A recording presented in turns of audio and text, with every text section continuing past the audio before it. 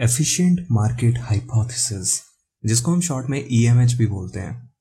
तो यही इस वीडियो में हम डिस्कस करने वाले हैं आज। नमस्कार दोस्तों, मेरा नाम है सोनू सिंह और आप देख रहे हैं सोनू सिंह पीपीटी वाले। तो लास्ट देखना आप इस वीडियो को, ताकि आप इस टॉपिक को अच्छे से समझ पाओ।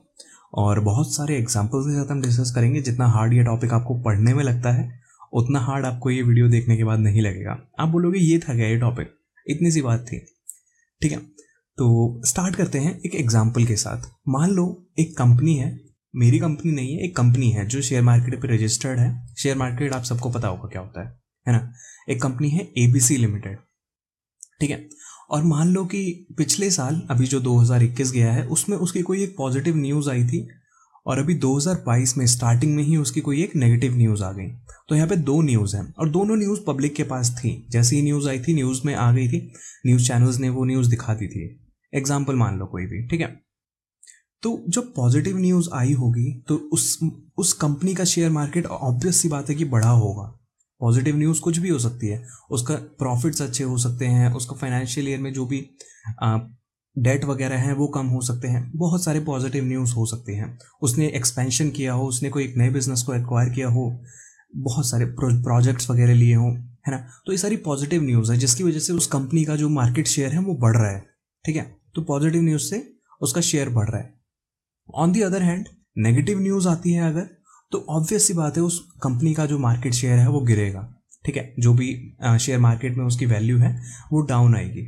और रेट तो यही होता है एफिशिएंट मार्केट कि जो जो भी कंपनी लिस्टेड है मार्केट में, उनका प्राइस जो है, वो फेयर प्राइस पे लिस्टेड है और जैसे ही कोई न्यूज़ आती है, जैसे ही कुछ प्रतिक्रिया होती है, जो भी बायर सेलर्स वो करते हैं तो मार्केट बढ़ता है या घटता है? ठीक है कंफ्यूज नहीं होना, आगे थोड़ा सा पढ़ते हैं, एकदम क्लियर हो जाएगा आपको। तो एफिशिएंट मार्केट क्या होता है?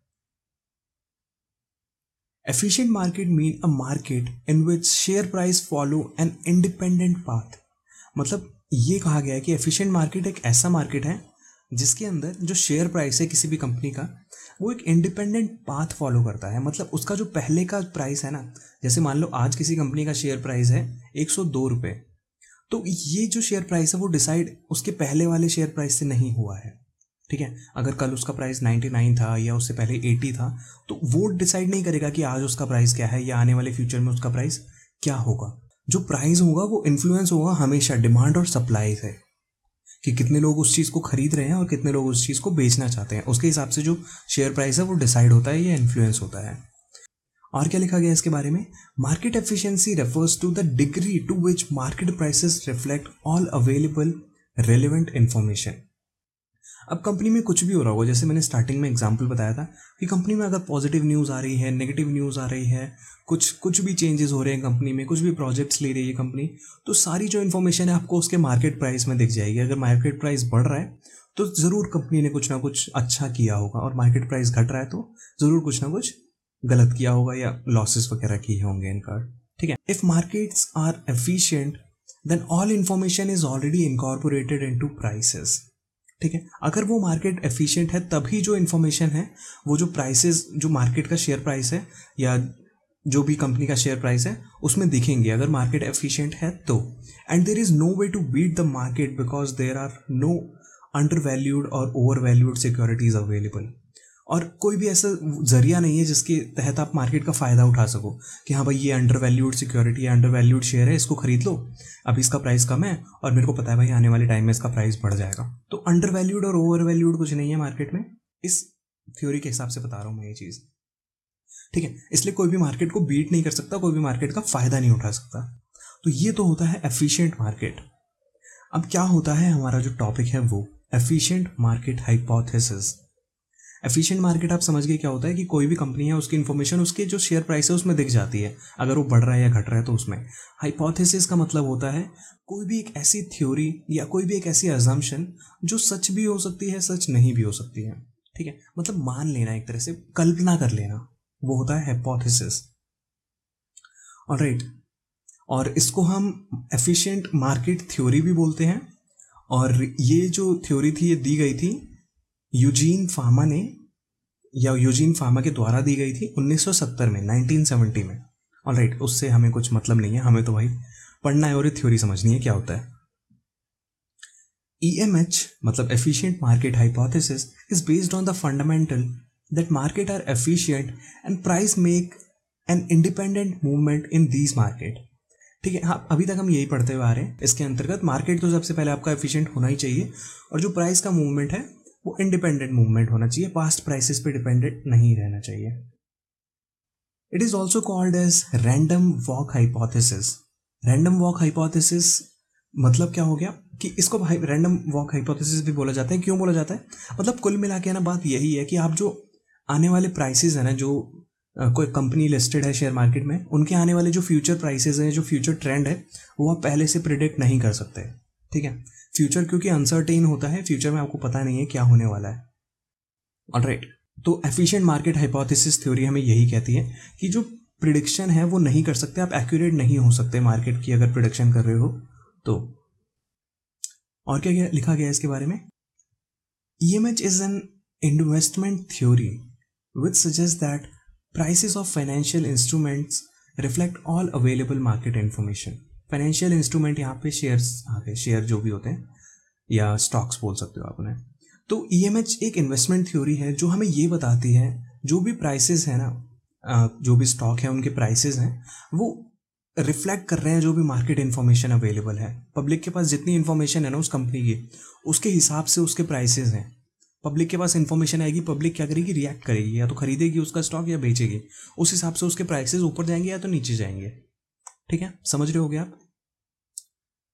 Hence, investors cannot have an edge over each other by analyzing the stock and adopting different market timing strategies.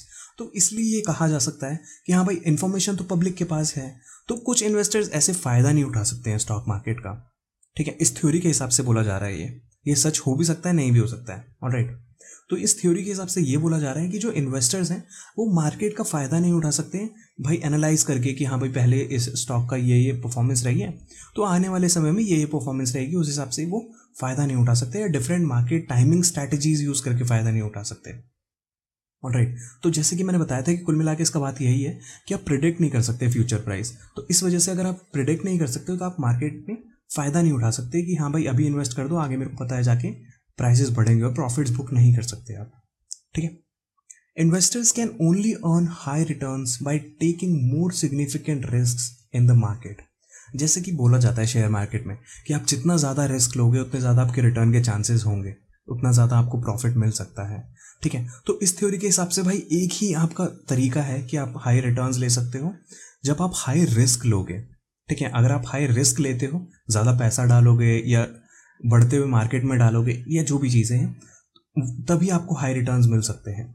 हाँ माना इस थ्योरी का एक लिमिटेशन ये होता है कि शॉर्ट टर्म में जो है, जो इन्वेस्टर्स हैं वो पैसा बना लेते हैं इस चीज़ से। शॉर्ट टर्म में एनालिसिस वगैरह चल जाती है और जो भी फंडामेंटल एनालिसिस है टेक्निकल एनालिसिस है, वो शॉर्ट टर्म में चल जाती है। लेकिन लॉन्ग टर्म में अगर कोई सोचे कि हाँ भाई, मैं कंसिस्टेंट ऐसे प्रॉफिट बनाता जाऊँगा एक दो साल तक, तीन साल तक तो वो चीज़ पॉसिबल नहीं हो सकती है। तो ये था एफिशिएंट मार्केट हाइपोथेसिस अब देख लेते हैं कितने तरीके की एफिशिएंट मार्केट हाइपोथेसिस हो सकती है। तो सबसे पहला फॉर्म है वीक फॉर्म और जैसे जैसे ये तरीके बढ़ते रहेंगे ना, जैसे कि सेकेंड हम पढ़ेंगे थर्ड पढ़ेंगे, वैसे वैसे ये अनरियलिस्टिक होती जाएगी। सबसे पहला आपको लगेगा कि हाँ भाई रियल चीज़ बोल रहा है, ये चीज़ हो सकती है। लेकिन अब सेकंड पढ़ोगे तो आपको धीरे धीरे ऐसे भरोसा उठने लग जाता है ना, वो होने लग जाएगा। फिर थर्ड में तो एकदम ही हो जाएगा कि क्या ही बोल रहा है ये। मतलब झूठ नहीं लगेगा, लेकिन अनरियलिस्टिक लगेगा। ठीक है तो सबसे पहले हम वीक फॉर्म पढ़ते हैं कि वीक फॉर्म क्या होती है? एफिशिएंट मार्केट हाइपोथेसिस की। The weak form of E M H implies that technical trading strategies can not provide consistent excess return because past price performance can not predict future price action that will be based on new information तो E M H के weak form के हिसाब से ये कहा जाता है कि जो टेक्निकल ट्रेडिंग है ना, या जो टेक्निकल एनालिसिस है, जिसमें हम जो स्टॉक है, या जो शेयर है, उसके प्रीवियस प्राइसेस के बेसिस पे उसके फ्यूचर को प्रिडिक्ट करने की कोशिश कर रहे हैं। तो वीक फॉर्म में ये चीज़ नहीं चलती है। वो बोलता है कि हाँ भाई, जो प्रीवियस प्राइसेस है ना, वो प्रीवियस ही है। जो पास डेटा है, वो पास डेटा ही है। उसके बेसिस पे आप फ्यूचर को प्रिडिक्ट नहीं कर सकते हो। On a long run long run की बात हो रही है इस पूरी थ्योरी में।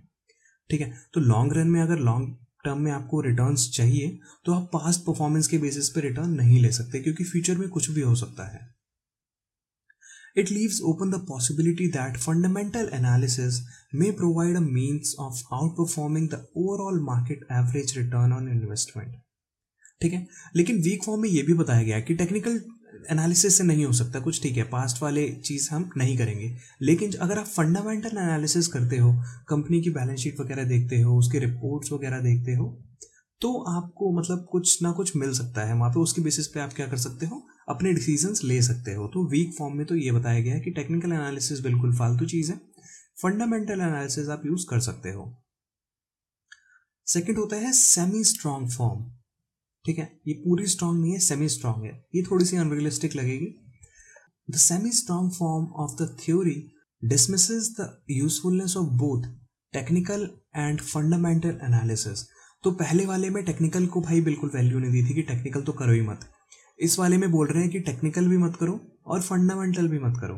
कि टेक्निकल पास डेटा से आप नहीं प्रिडिक्ट कर सकते फ्यूचर और फंडामेंटल एनालिसिस कि कंपनी की जो भी बैलेंस शीट है रिपोर्ट्स हैं, जो भी चीज़ें हैं, अगर आपके पास वो अवेलेबल है, जो भी पब्लिक इन्फॉर्मेशन कंपनी शेयर करती है, अगर आपके पास वो अवेलेबल है तो आपके जैसे जो और इन्वेस्टर्स हैं, उनके पास भी तो अवेलेबल है। तो आप उसमें एडवांटेज नहीं ले सकते हो, ठीक है, और इन्वेस्टर्स की तरह। जो सबको मिलेगा, वो वही आपको मिलेगा उस चीज़ से, ठीक है। तो ये वाली थ्योरी या ये वाली फॉर्म यही कहती है कि आप टेक्निकल एनालिसिस करके या रिपोर्ट वगैरह देख के या जो भी कह सकते हैं बैलेंस शीट वगैरह देख के कंपनी की फाइनेंशियल स्टेटमेंट वगैरह देख के आप एडवांटेज नहीं ले सकते शेयर मार्केट में, ठीक है? और इन्वेस्टर्स के ज़्यादा। Price adjust quickly to any new public information that becomes available ठीक है? जो भी पब्लिक इंफॉर्मेशन मिलती है कंपनी की साइड से कुछ भी इन्फॉर्मेशन उनके रिपोर्ट्स हो सकते हैं, उनके क्वार्टरली रिजल्ट्स हो सकते हैं उसके हिसाब से प्राइस एडजस्ट हो जाता है सेकंड्स में एडजस्ट हो जाता है भाई। जैसे अगर शेयर मार्केट अभी ओपन है और कंपनी का कोई रिज़ल्ट आ गया, भाई आप देखते रह जाओगे सेकंड्स और मिनटों में जो प्राइस ऊपर नीचे हो सकता है। Therefore rendering fundamental analysis incapable of having any predictive power about future price movement ठीक है? तो फंडामेंटल एनालिसिस करके या कंपनी के जो भी पब्लिक डॉक्यूमेंट्स वगैरह देख के आप फ्यूचर का प्रिडिक्शन नहीं कर सकते हो। ठीक है, थोड़ा सा अनरियलिस्टिक लगा, क्योंकि आजकल तो जो इन्वेस्टर्स है वो यही कर रहे हैं ना, या तो पास डेटा देख रहे हैं, या कंपनी की जो भी चीज़ें हैं वो देख के इन्वेस्ट करते हैं। तो थोड़ा सा अनरियलिस्टिक अभी तीसरा वाला देखो क्या है। स्ट्रॉन्ग फॉर्म स्ट्रॉन्ग फॉर्म है ये ई एम एच की।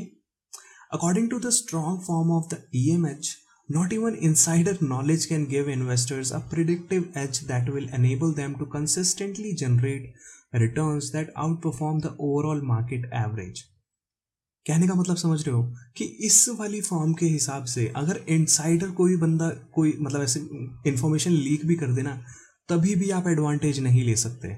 ये बहुत ज़्यादा मतलब अनरियलिस्टिक होता है। लेकिन क्यों होता है?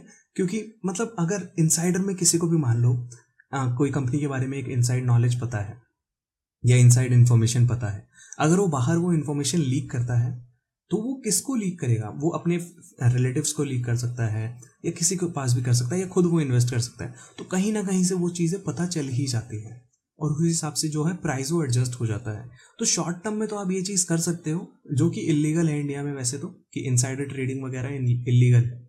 कि कोई अंदर का बंदा आपको इन्फॉर्मेशन दे रहा है, उसके बेसिस पे आप कुछ एक्शंस वगैरह ले रहे हो तो वो इलीगल होता है। लेकिन शॉर्ट टर्म में अगर लीगल होता, किसी किसी कंट्री में लीगल होगा तो आप शॉर्ट टर्म में ये चीज़ कर सकते हो कि हाँ भाई इनसाइडर ट्रेडिंग से कमा सकते हो। लेकिन लॉन्ग रन में आप इससे मतलब पैसा नहीं बना सकते हो।